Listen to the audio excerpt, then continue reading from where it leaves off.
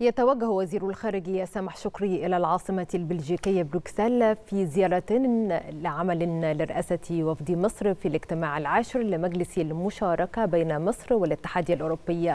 ومن المقرر أن ينعقد الاجتماع برئاسة شكري وجوزيف بوريل نائب رئيس المفوضية الممثل الأعلى للاتحاد الأوروبي للشؤون الخارجية والسياسة الأمنية وبمشاركة عدد من وزراء خارجية دول الاتحاد الأوروبي.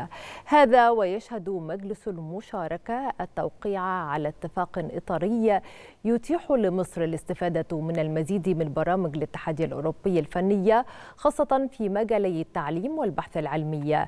كما سيشارك شكري في اجتماع لوزراء خارجية مصر والأردن والسعودية وأمين عام جامعة الدول العربية مع الممثل الأعلى للسياسة الخارجية والأمنية للاتحاد الأوروبي وعدد من وزراء خارجية الدول أعضاء الاتحاد وذلك للتشاور حول تطورات الأزمة في غزة ومستقبل القضية الفلسطينية.